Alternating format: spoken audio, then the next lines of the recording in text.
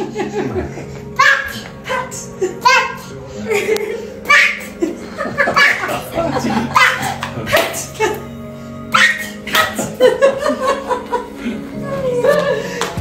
नायिका प्रियङ्का कार्कीलाई अहिले भ्याइ नभ्याइ छ उनको फुलबारी नामक सिनेमा देशव्यापी रूपमा रिलिज भइसकेको छ र निकै राम्रो व्यापार पनि गरिरहेको छ अहिले भने प्रियङ्का कार्की दुबई पुगेकी छन् उनी एउटा रियालिटी सोमा पनि आबद्ध भएकी छिन् त्यसैको लागि उनी दुबई पुगेकी हुन्। काम गर्ने आमा भइसकेपछि आफ्नो सन्तानलाई समय दिन निकै गाह्रो हुने गर्दछ। त्यसमाथि कलाकार।